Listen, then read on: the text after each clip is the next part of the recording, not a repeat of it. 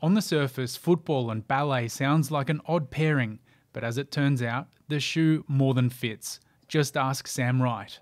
The North defender has been out of action for the best part of the past two seasons with foot and ankle injuries and has now turned to ballet for help. Her ballerinas, it's incredible really. They're just so strong. They're just, uh, their technique, their foot intrinsics, the muscles in their feet are just so strong that, you know, it really, really gave me hope that, you know, I thought oh, I had bad feet. Some of their feet are, are pretty bad and the injuries they've gone through to come out the other side. So, yeah, it's been really good. Sue Mayes is the principal physiotherapist with the Australian Ballet, and she's seen her fair share of foot trauma. No, that's remarkable. I mean, just the whole thing doesn't look as inflamed and angry, which is great. Her expert knowledge and experience, along with that already on hand at North, is helping players like Sam put their best foot forward once again. So I think what we're able to um, share is the sort of work that we do on strengthening the feet and the ankles can be really helpful for all athletes, but particularly guys yeah. who have to jump so high and to run so fast. Lots of little ballet, they actually don't really look like ballet steps. Yeah.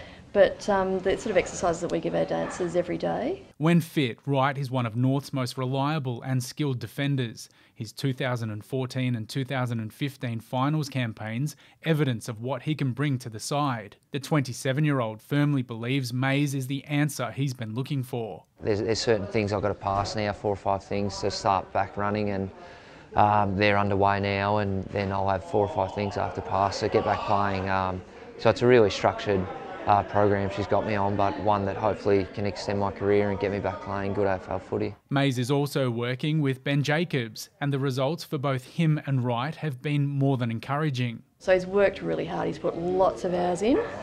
Done all the exercises with. Um, we go, always go for really great quality. And I think that's he's not, not only done volume, but he's done fantastic quality of really um, focusing in on those little muscles. And a little rest harder than it looks. It is a lot harder, yeah. I'm actually getting it everywhere, really. Yeah. Last two years have been pretty tough. Um, myself and Benny Jacobs uh, been in rehab a lot, and uh, now that we got Sue, it's you know it's given us a new lease on our football, and hopefully we can both get back playing and, and really make you know our, our ends of our career really good. Heath O'Loughlin for nmfc.com.au. Perfect. Thanks so much for today.